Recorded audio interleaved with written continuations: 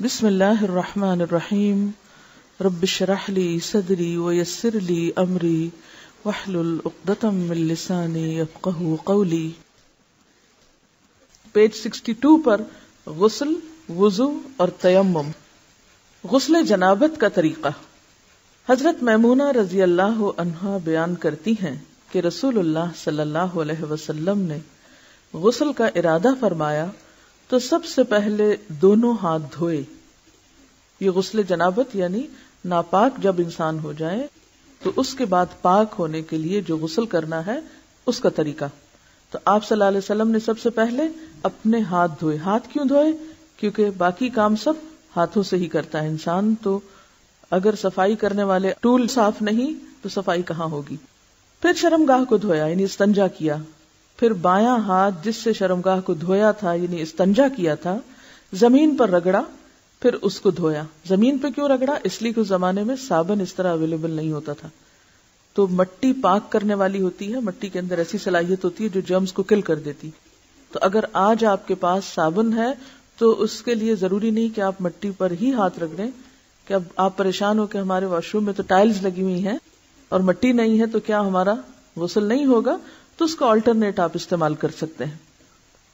پھر کلی کی اور ناک میں پانی ڈالا، پھر چہرہ دھویا، پھر کوہنیوں تک ہاتھ دھوئے، پھر سر پہ پانی ڈالا اور بالوں کی جڑوں تک پانی پہنچایا۔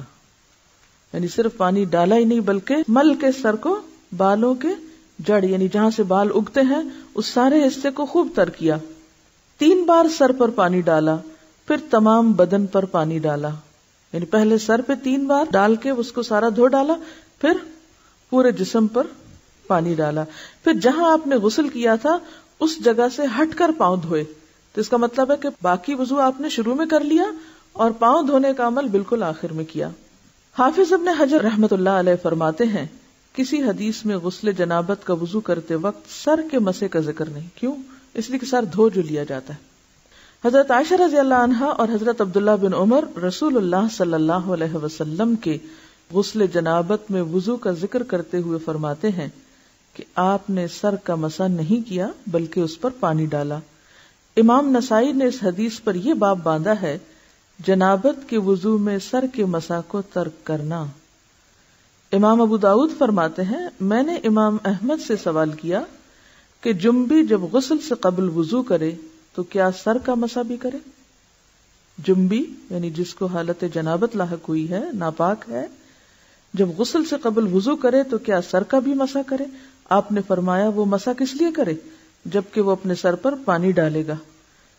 حضرت عائشہ رضی اللہ تعالی عنہا نے کہا، میں اور رسول اللہ صلی اللہ علیہ وسلم ایک برتن سے نہاتے اور دونوں اس سے چلو بھر بھر کر لیتے تھے۔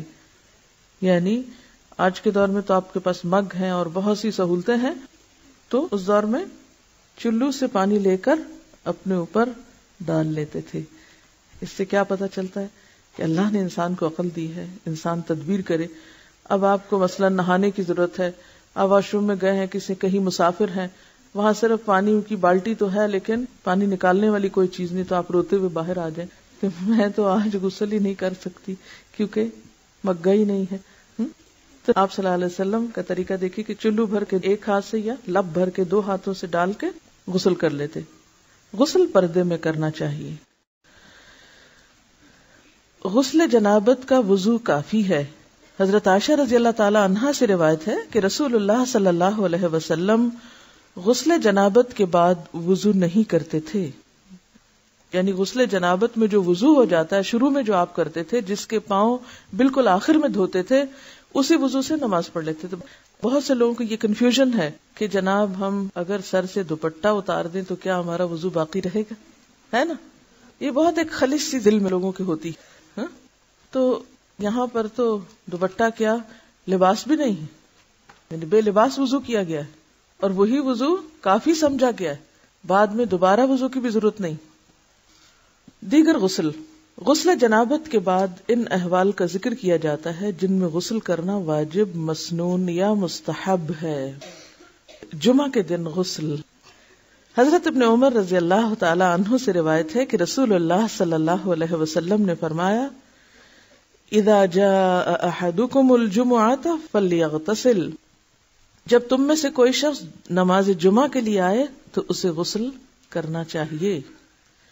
حضرت ابو حرارہ رضی اللہ عنہ سے روایت ہے کہ رسول اللہ صلی اللہ علیہ وسلم نے فرمایا، ہر مسلمان پر حق ہے کہ ہفتے میں ایک دن جمعہ کو غسل کرے۔